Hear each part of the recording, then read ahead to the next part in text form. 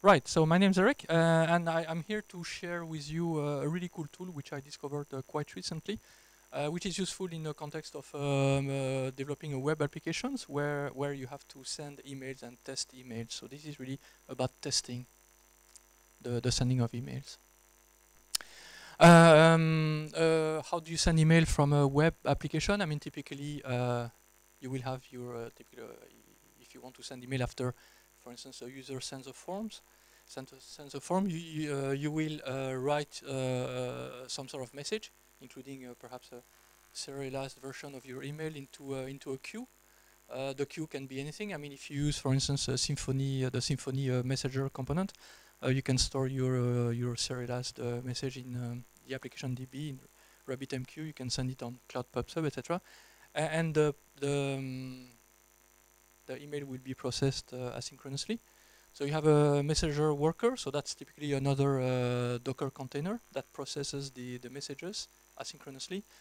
And what you usually do is send them to a local uh, mail transport authority, which will then take care of the mechanics of connecting to the SMTP server, etc. Uh, I like to have the MTA uh, running in the same container as the um, uh, the asynchronous the asynchronous worker.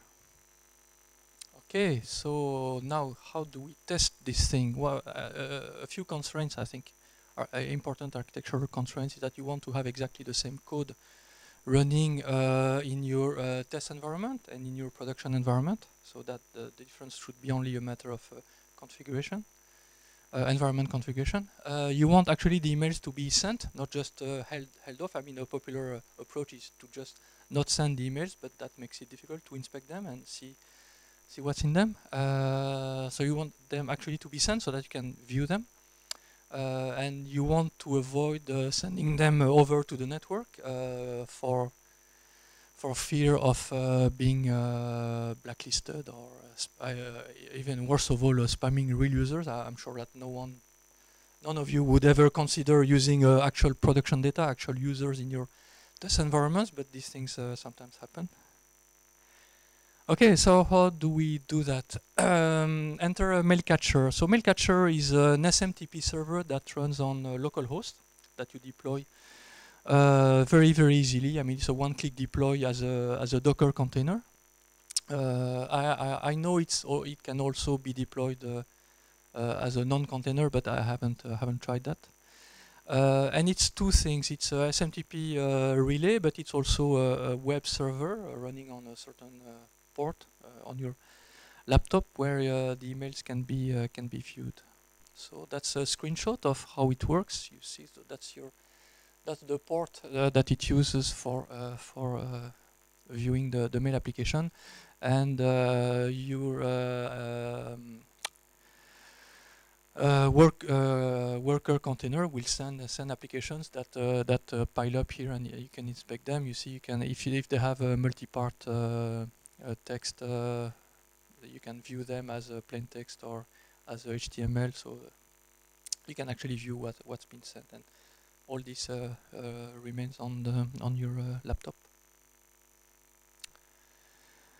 Uh, let's uh, have a look at uh, how do you configure an application to take advantage of this this feature. So, as I said, you you want the difference between your environments to be strictly a matter of uh, SMTP configuration. Uh, so I, I, like to use, uh, I mean, there are various flavors of MTAs, but I like to use SMTP, M SMTP, which is a successor to SendMail. It lends itself better to the sort of configuration that, that we want to, to do here. Uh, and really just you you will configure MSMTP to uh, to use the the SMTP account that's applicable to your your your, your environment. And it's, it's simply a matter of uh, defining a different uh, sender email address based on your environment. So you will use uh, one sender email address for your production environment and another one for testing on your local environment, which is the one that Mailcatcher will will will catch. So this is a configuration file uh, for uh, MSMTP, and uh, you will see that here what you do is define what what uh, MSMTP calls accounts. So here I have configured two, two accounts. That's the production account, Uh, so it happens to be OVH, um, a popular mail hosting company. So that's the one used in, in production. Uh, and you see uh, it uh, corresponds to a from email address, which is the real life one, info, dot, info at example.com. Uh, I, I, one of the nice features uh, of MSMTP is the fact that you don't have to write the, the password in your configuration file.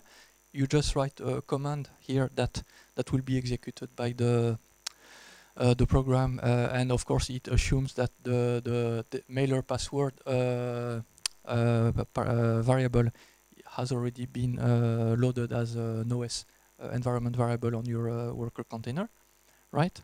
So that's your production environment, and that's the, the interesting one, which is the, the Mailcatcher uh, local environment.